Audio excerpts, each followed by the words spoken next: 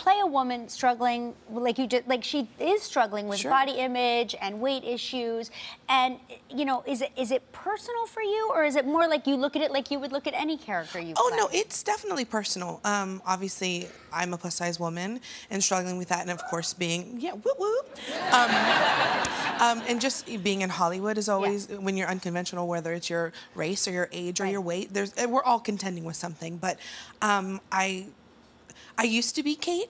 And I'm a little more, you know, accepting and like I feel like if you you have to love yourself where you are now to get to the place you want to be. Right. So Kate is on that journey. Yeah. So You're, we were not. We were just talking during the break. Like your life's never going to be the same. This role is that game changer for you. And it's a game changer for people when they come up to me and they're like, I've never spoken to my daughter about her weight issues, and now we have dialogue and we're crying in the bathroom together. Like, there's like all of these amazing connections that we have with people I never would have had without this role. Wow.